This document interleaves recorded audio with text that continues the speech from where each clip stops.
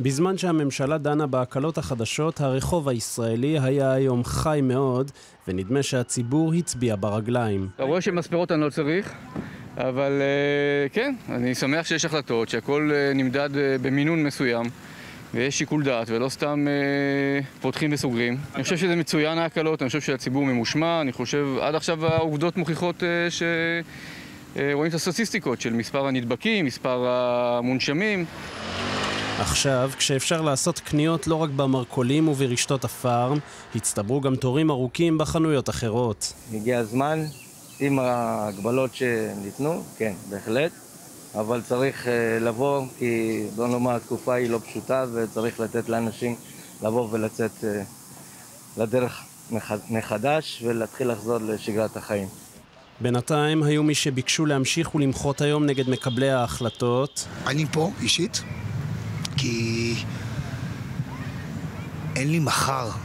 בשדרות רוטשילד בתל אביב הוקמו כמה אוהלים, זכר למחאה של קיץ 2011.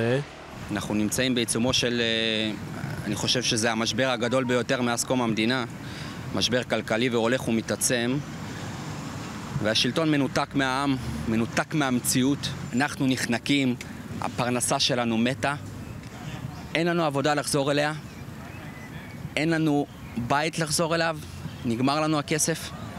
ובאופן מפתיע המחאה הזו בתל אביב מקבלת רוח גבית דווקא מהעירייה. מאז ומעולם עיריית תל אביב-יפו מקדשת מחאה ואפילו מעודדת מחאה במרחב הציבורי. זה חלק מהדמוקרטיה וזה חלק מהמורשת של העיר.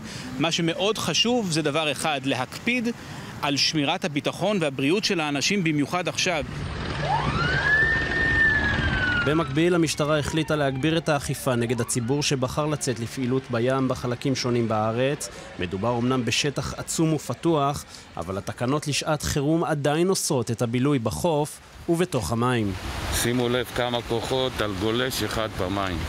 עשרות גולשים נתפסו על ידי אנשי השיטור הימי, אחדים מהם נקנסו, וגולש אחד שהתעמת עם השוטרים בתוך המים נעצר. ובזמן שהמשטרה שמה דגש על הגולשים, עשרות אנשים התגודדו בטיילות ובחופים כדי לצפות במתרחש, בניגוד מוחלט להנחיות.